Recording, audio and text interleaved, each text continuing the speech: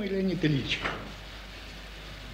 Ассоциация международной премии «Золотой Меркурий» за мир и сотрудничество приняла решение наградить вас за выдающийся вклад в укрепление мира, в развитие международного сотрудничества, международной премии за мир и сотрудничество.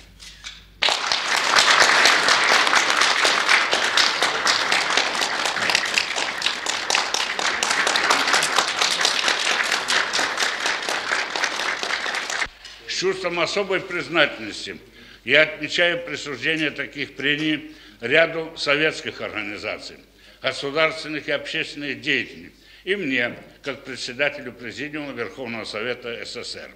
Это говорит о признании той роли, которую Советский Союз играет в развитии международных экономических связей.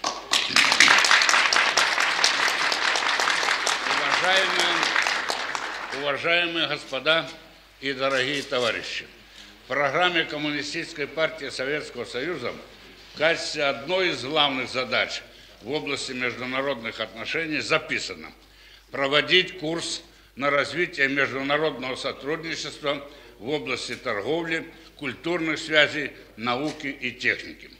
Принимая сегодня премию «Золотой Меркурий», хочу заверить вас, что этот курс мы будем и впредь проводить последовательным и неустанным в интересах советского народа и наших партнеров во имя укрепления мира во всем мире.